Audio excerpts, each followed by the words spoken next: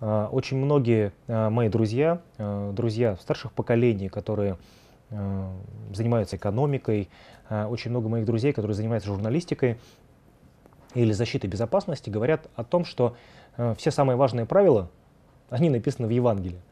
И как раз а, можно говорить о том, что и а, правила информационной безопасности, они точно так же сформулированы в Евангелии.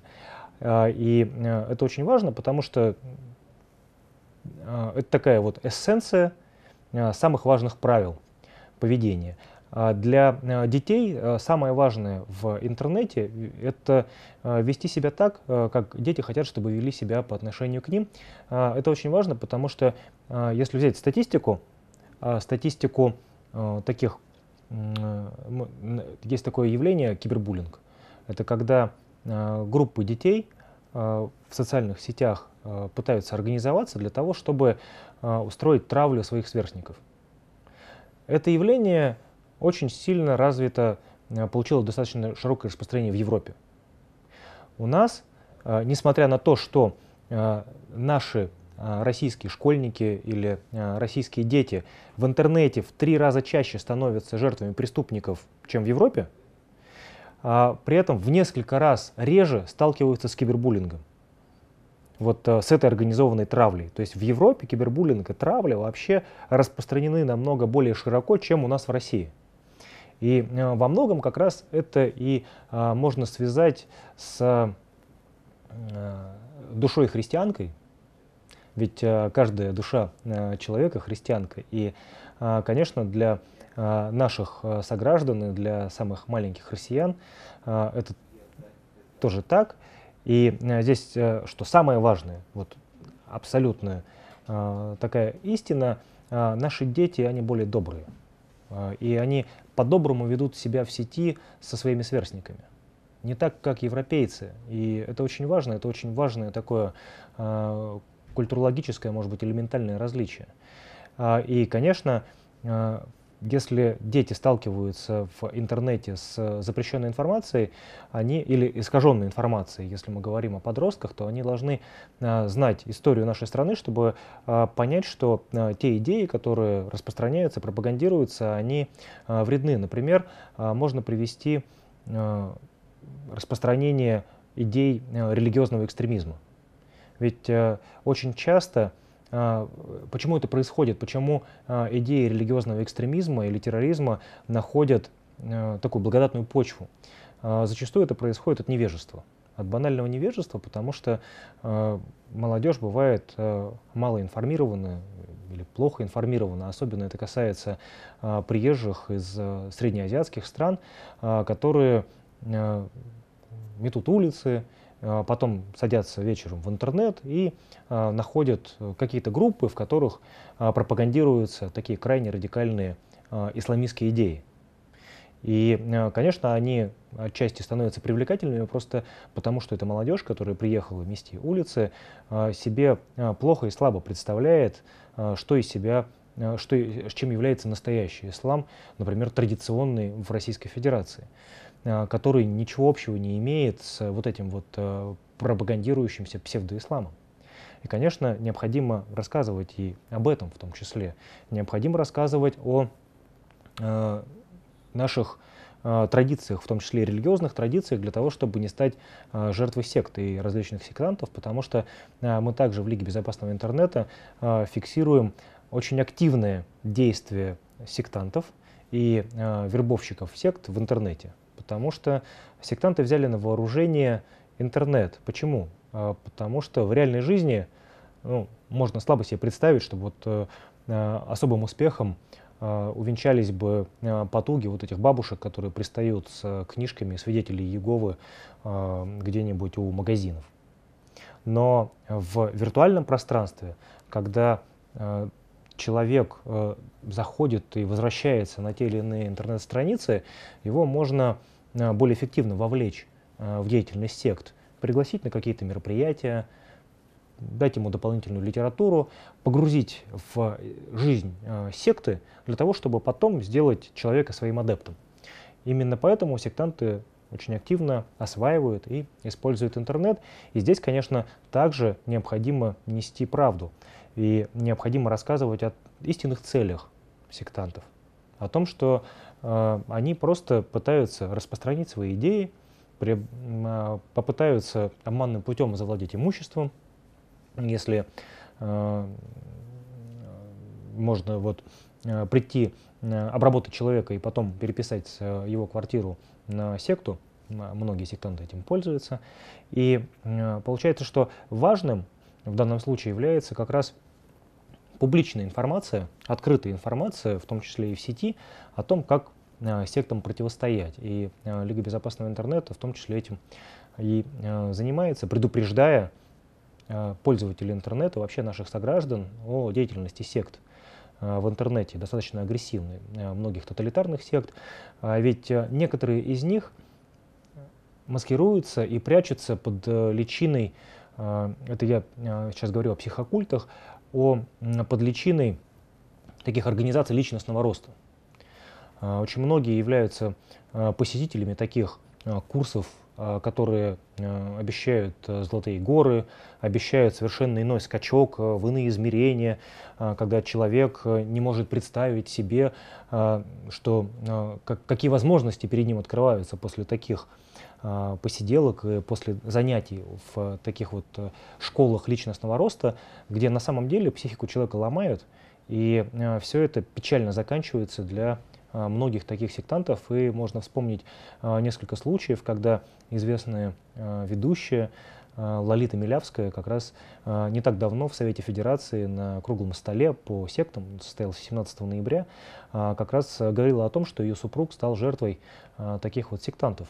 То есть это все очень рядом с нами. И это все в интернете. Поэтому э, важно понимать, что общество должно самоорганизоваться для того, чтобы э, все эти напасти постепенно вычищать. И если необходимо, то стоит совершенствовать, менять наше законодательство, в том числе и вот э, в том аспекте, который касается сект. Ведь э, посмотрите, после э, тех мер, которые, законодательных, в том числе мер, которые были разработаны и внедрены в нашей стране, я имею в виду единый реестр запрещенных сайтов, количество сайтов, на которых продают наркотики, радикально сократилось. И это такие барьеры, которые позволяют как раз обезопасить и детей, и взрослых, и от запрещенной информации, не только от информации, а еще и от, э, еще и от э, вредных последствий, которые могут э, быть в реальной жизни, вот в настоящей жизни каждого человека. Э, если говорить о сценах насилия и жестокости, если говорить о компьютерных играх, которые очень часто несут элементы насилия и жестокости и вызывают у детей агрессию, раздражительность. Дети начинают слабо концентрироваться. Да, есть э, позитивный эффект от игры в компьютерные игры, если можно так э, сказать, повышается скорость реакции.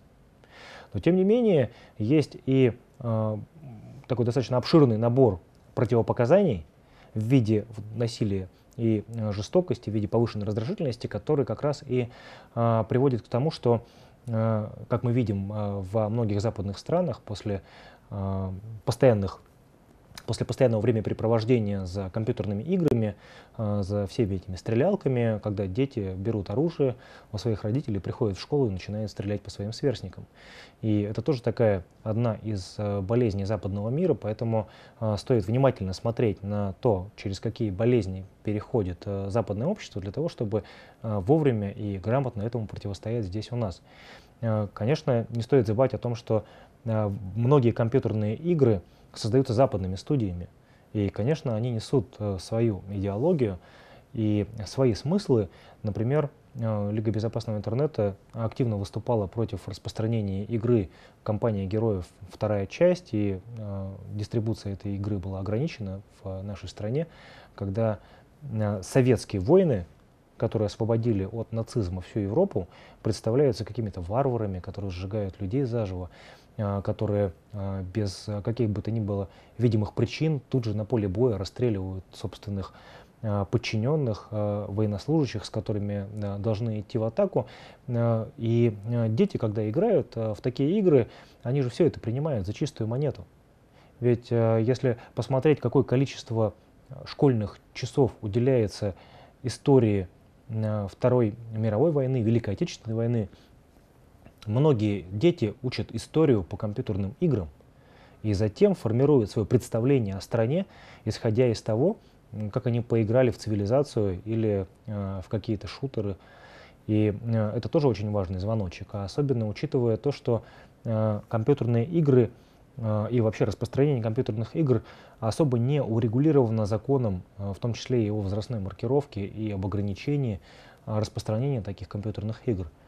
Ведь э, наши компьютерные игры, э, которые э, было бы неплохо распространять среди детей, должны, наоборот, воспевать силу русского оружия, выносливость русского солдата и, например, почему бы не создавать компьютерные игры, которые бы рассказывали о блестящей операции в Крыму в 2014 году или крымской истории 1853 года или о временах Екатерины II. Поэтому э, здесь, конечно, э, нам самим нужно думать о том, э, как э, обезопасить детей, в том числе в интернете. И многие родители э, знают об этом. Вот э, по статистике 90% родителей, это статистика Фонда общественного мнения, э, знают о том, что в интернете детям угрожает опасности. Но есть э, шокирующая цифра, всего лишь 17% родители предпринимают какие-то реальные действия для того, чтобы своих детей защитить в интернете. А учитывая, что дети приходят из школы, как правило, в районе 13-14 часов, а родители приходят с работы где-то в 17, 18, в 19, а пик использования интернета детьми приходится на 16 часов, можно только догадываться о том, что дети смотрят в интернете. И только лишь 17% родителей знают, как защитить ребенка в интернете и совершают какие-то действия, ну, например, устанавливают программу родительского контроля, ограничивают э, время, э, которое дети проводят за компьютерными играми в сети, а, например, не э, занимаются уроками. Только 17. Конечно, их количество должно быть больше. И это тоже задача нас, как гражданского общества, э, чтобы рассказать каждому из пап и мам о том, что нельзя оставлять детей в интернете без присмотра. Потому что дети — это наше будущее. Это, конечно же, будущее каждой семьи, но это и будущее нашей страны. И очень важно, чтобы наше будущее выросло нравственно здоровым, чтобы дети росли в, э, не в обстановке, когда э, в перемешку с видеороликами на Ютубе о проведении каких-то операций, стрельбе, убийствах, грабежах, криминальной хроникой, они еще и играли в компьютерные игры, убивая тысячи виртуальных врагов.